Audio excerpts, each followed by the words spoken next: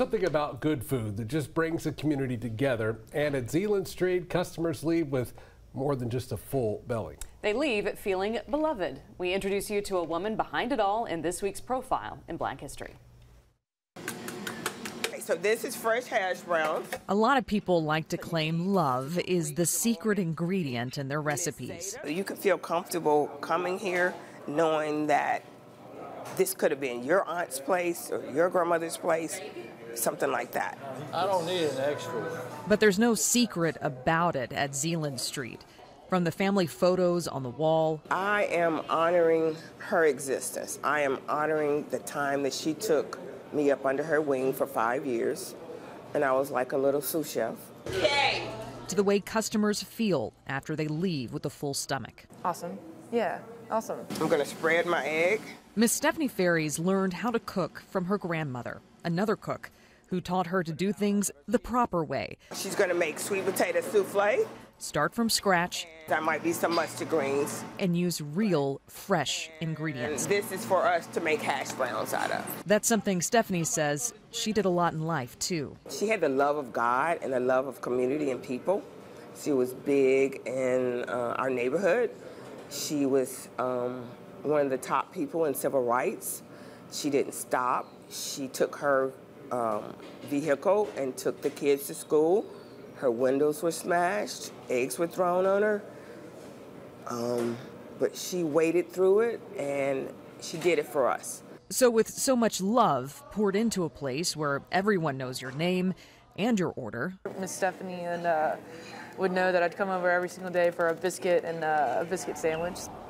It's hard to imagine a time where Stephanie Ferris was an outsider. I was just a young girl that came to this town, and I needed friends and I needed family. So I had to involve myself in the community. And I think it worked. And yet, when she and her husband first moved into the neighborhood more than 30 years ago, I was the first black, I believe, and I would get approached by the police. They told me I was casing the neighborhood. And so I basically said, hey, I live over here. I folded. So Miss Stephanie went back to another old lesson that good, real food brings everyone together. I would go from house to house, knock on your door, and say, hello, my name is Stephanie, and I live on Zeeland. After that, I started a potluck supper for the last Friday of the month, and I would invite people. One day we had like 100 people in the yard and outside throughout the house. And he said to me, You need to own a restaurant.